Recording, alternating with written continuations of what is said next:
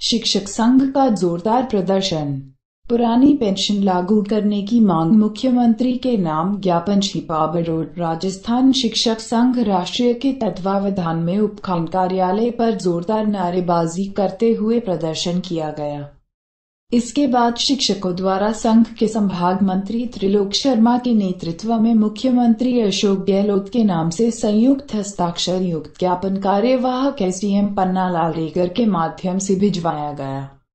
संघ के अध्यक्ष नंदलाल केसरी ने बताया कि ज्ञापन में नवीन पेंशन योजना के स्थान पर पुरानी पेंशन योजना देने सामंत कमेटी की सिफारिशें सार्वजनिक करके लागू करने व अनियमित किए गए स्थानांतरणों को निरस्त करने की मांग की गई।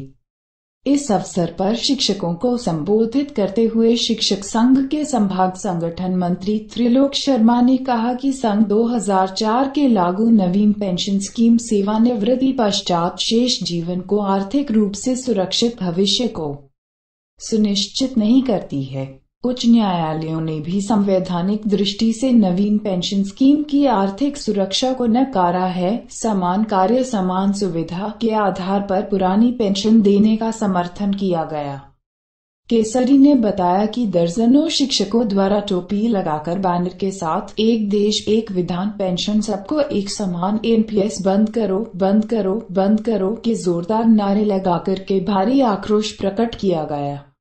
प्रदर्शन एवं ज्ञापन के अवसर पर शिक्षक संघ के जिला उपाध्यक्ष व ज्ञापन प्रभारी सूरज सालवी, कोषाध्यक्ष ललित चित्तौड़ा, वरिष्ठ उपाध्यक्ष मनोज चौहान, कार्यकारिणी के वरिष्ठ पदाधिकारी ओम सिंह भाटी, धनराज सुमन।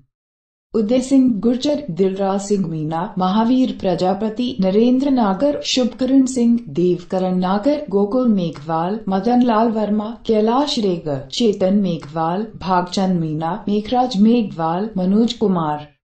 दिलीप कुमार सहित तीन दर्जन से अधिक शिक्षक उपस्थित रहे।